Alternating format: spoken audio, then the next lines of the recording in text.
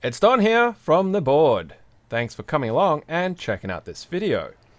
Today I'm going to be having a look at some artisan keycaps just for a change of pace in regards to all of my later videos, late uh, recent videos, sorry, on building macro pads and so on and so forth. Um, but sort of before I kick off on that though, I do want to have another shout out and an update on the hub Kickstarter that's happening right now. Uh, there's about 53 days to go and they're about to hit about 20% of that goal. It's floating around the 91,000 mark out of the 500,000 and I have actually launched uh, an Australian group buy kind of deal happening here where we're actually going in for a 100 set uh, pledge on that. So if the actual Kickstarter is successful, we'll be getting 100 sets. Any leftover sets from this process will actually belong to me uh, and the board podcast, as it were, which means if I do have excess from the ones that I want to keep, they may be potential prizes for me to give away.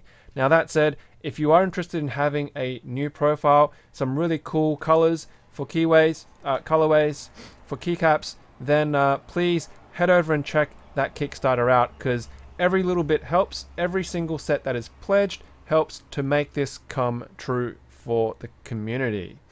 Now, I got a couple of keycaps, and as you would know from today's video title, these are keycaps from CozCaps, made by Cozmosis, one of the artisan makers in the community from Australia. And there's a little bit of a backstory here because these keycaps were actually donated to me, to the Board Podcast, from our longtime listener, fan, supporter, Jolly Green Giant. Now, Jolly Green Giant had actually bought two keycaps as part of Coz's mystery cap sale a while ago, and with the intent for them to actually be sent to me. I was actually told by Jolly Green Giant that these keycaps would be coming, but he didn't know what they were because it was a mystery. And Toby had actually also contacted me, Coz, um, had contacted me and said, hey mate, uh, can you just give me your address again so I can send you some caps? So I gave him my details and then I waited.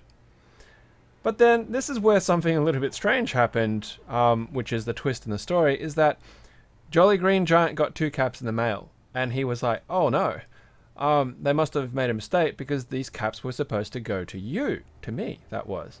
And I said, you know what, don't worry about it. It's not really worth it.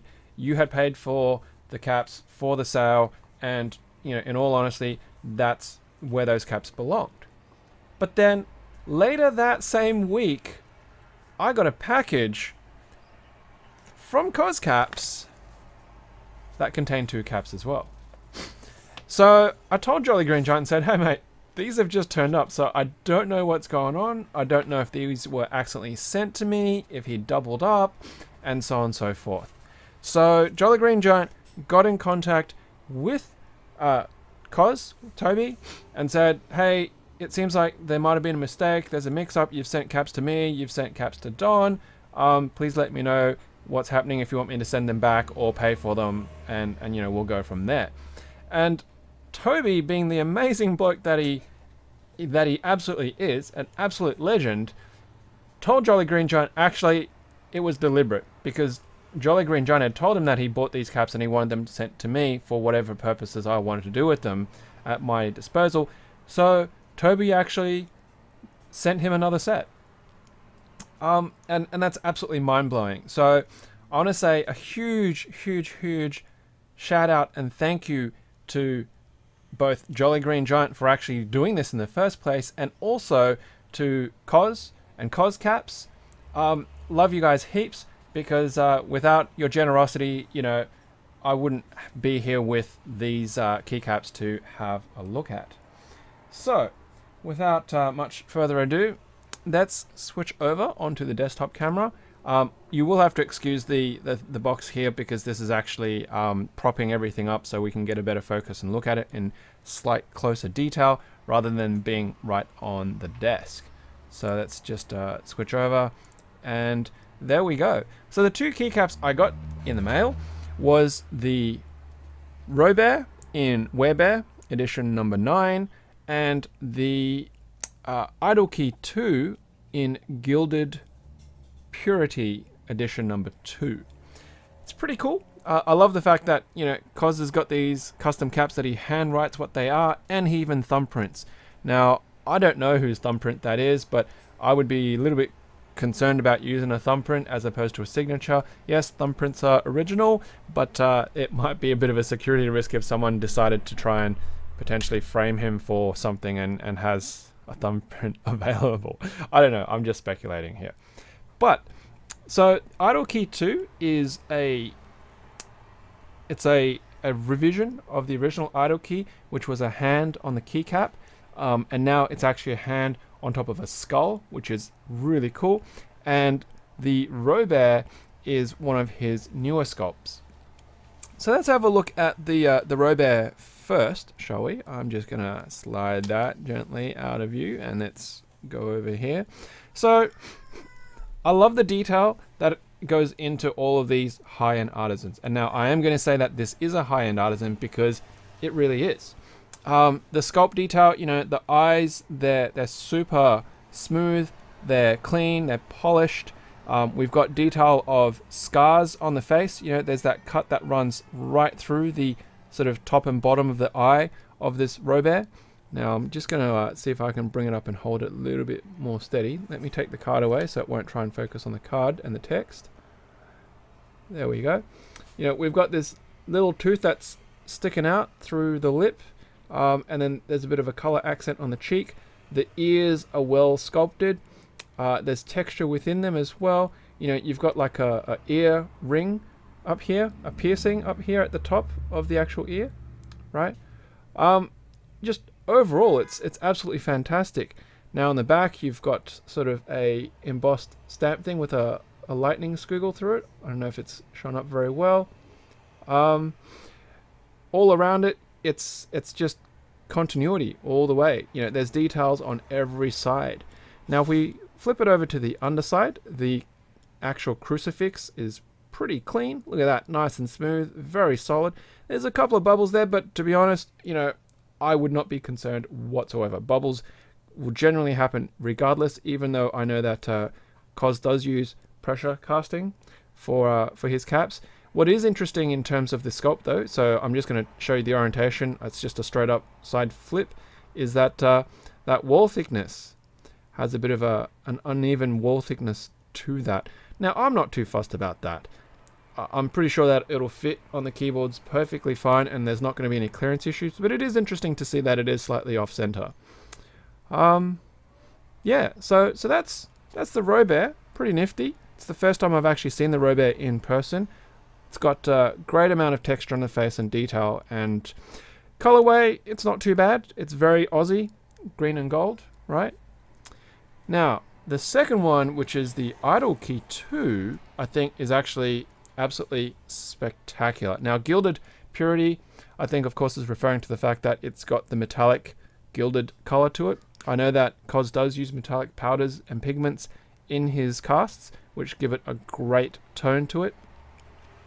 The detail. So let's go right up to the camera. And try not to obscure my own view here. We've got a ring on the hand. We've got fingernail plateaus. We've got texture. We've got sort of veinage that is happening there. We've got crinkling in the wrists. That skin texture right there. We've even got internal bones. There is both the radius and the ulnar inside the wrist. Like that is that is incredible attention to detail. Hmm. The the box is empty. It's empty. There's no more. Hmm. No more. If you want some more, you have to go and ask mummy. Okay. Sorry about that. Um. Now the hand. You know the the realism here about the claw and the hand positions. Right. You know it's got that real sense of macabre about it and uh, yeah, I really like the detail. Now on the back, of course, we've actually got a, a Coz stamp there, Maker's Mark, which is fantastic. And then on the front, we've got some skull features. Now, I'm I'm a bit of an anatomist uh, by qualification and trade, and I actually really like this skull. Even though we're missing most of the skull, the skull cap and this portion of the skull is quite detailed. And what I'm talking about here is you've got, I'm just going to try and hold it up again. It's killing my shoulders because uh, it burns.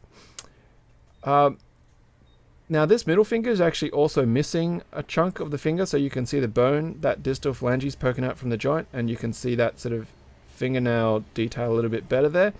But the skull here actually has the ridges, the eyebrow ridges, the supraorbital ridges, and they're clearly defined, which is really fantastic. And then when we turn it over to the side, we can actually see this flat here. And that's actually where your masseter muscle is that connects to your jaw up the top through the through the zygomatic arch, which is actually being cut away here. So if the skull had gone further down, there would actually be an arch that the muscle slides under there. So that kind of ridge detail is really, really cool. The only thing that I guess that I probably would have wanted to see a little bit more detail, but that's been covered by the maker's mark, is the sort of top of the nuchal ridge, which is where the back of the neck muscles connect to and, and pull our heads up. But hey, no complaints whatsoever in that context. Once again, we flip it over to the underside and uh, we can have a look at the stem. It's very clean, it's very smooth. There's certainly been a lot of work to, to clean that up from the mold, if any. Um, and I don't think there should be any fit issues. Now, this is a bit more to what I would have expected in that the thickness of the wall of the caps on the sides are actually really even and well centered, which is really great.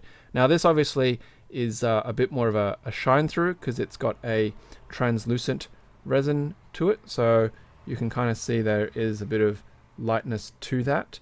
I don't have a light handy to shine through it, but you can definitely see that it's translucent, which is pretty cool.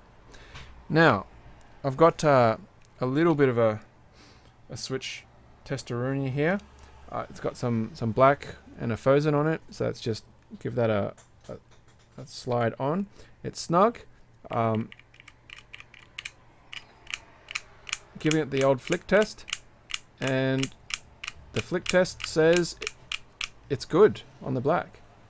And it comes off pretty smoothly as well. And then for the Werebear, let's go with the Werebear as well. And to be expected, it holds on just fine. So there you go. Two caps from CozCaps. We've got the Idle Key 2 and the Robear. So, what's going to happen with these? Um, I don't know. A good question. Actually, I do know. what what I did the other day when I was uh, thinking about how to do this video and prepping for this video, I had actually asked, "Did you want to come up?" No? Did you want to come up? All right. Yeah. Um, what I did was I asked the guys on our Slack group, what should our next milestone be? And, you know, I said, we're currently at 1600 odd, you know, just past the halfway mark of 1600 subscribers. Should we be doing like, you know, 1700, 1800, 2000? And uh, they said 2000. 2000 is a nice round number. So, because these were sent to me, out of the goodness of Jolly Green Giant's heart and Coz's heart in being so generous in sending two sets out, one to uh, Jolly Green Giant and one to me, I'm actually going to give both of these away. I'm going to run a giveaway. I'm going to run two giveaways when we get to 2,000. So it's going to be a double giveaway for our 2,000 subscriber milestone. Okay, so the giveaways for these will be run when we hit 2,000 subscribers. I already know what I'm going to do in regards to how we're going to launch the, the giveaways for these two caps, okay? But I'm not going to reveal that until we actually get there. So, this is really a preview for that competition. So if you're interested in, in getting your hands on these, even though I would love to keep these as part of my own artisan collection, um, I just wouldn't feel right in doing so because of the generosity of others. So get the word out there, share this video, like this video, tell people who are just getting into mechanical keyboards, put it onto whatever, you know, social media you have, because the, the faster we get to that 2,000 subscriber mark, the sooner the competition's going to be for us to give these two amazing artisan keycaps away. You're so talkative, hey? Mm. All right. Well, thank you very much, of course, for coming along and checking out this video. I hope you enjoy having a look at these CozCaps and the amazing quality and detail that goes into it, the color shotting, the crispness of the actual casts, um, and just in general the, the vibe of the thing. Now, once again, a very quick reminder, if you are interested in supporting the Hub Keycap profile on Kickstarter, please head over and get on it now. There's no reason to wait until the end of the campaign because the more support we have at the start, the better momentum we have to roll it through to get to completion. Um, and of course, if you're not aware and somehow you've actually come across this video because somebody's told you to check it out uh, or it's just randomly come across your YouTube feed, we also have a podcast series on mechanical keyboards and you can find us at www.theboardpodcast.com as well as links to our Patreon and Instagram in the links below for the video. So, thank you once again for checking out the video and, of course, as always, until next time, happy clacking. Bye.